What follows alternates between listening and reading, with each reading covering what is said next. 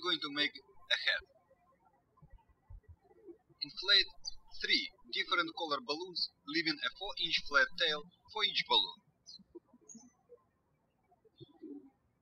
We are going to twist the same bubbles on each balloon. The first three bubbles you twist and lock in a chain of a triangle shape. I have already prepared three different color balloons. Blue, red and honey. Put two balloons aside for now. Twist the first 8 inch bubble on the honey balloon. Attach the nozzle of the blue balloon to the free end of the first bubble of the honey balloon.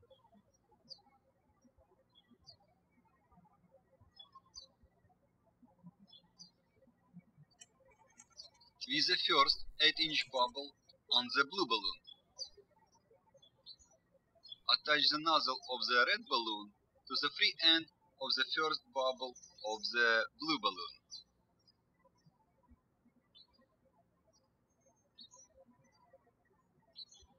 Twist the first 8 inch bubble on the red balloon.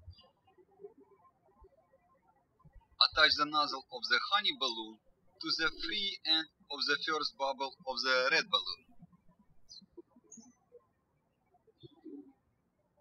You have made the triangle.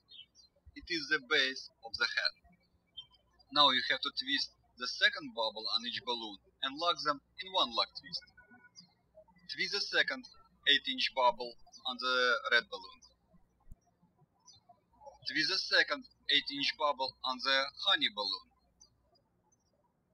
Lock the free ends of both bubbles in one lock twist. Twist the second 8-inch bubble on the blue balloon. Lock the free end of this bubble with the other second bubbles. You have made a triangle pyramid.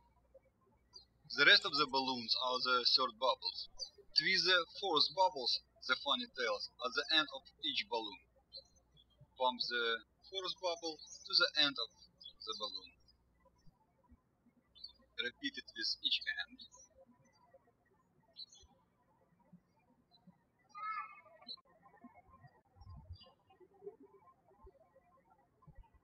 Kids give uh, different names for this head. Most often they call it a clown head or an alien head. Congratulations, you have made the head.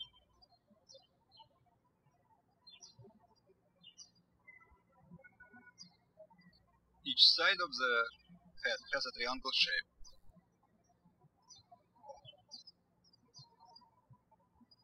Have fun. Um,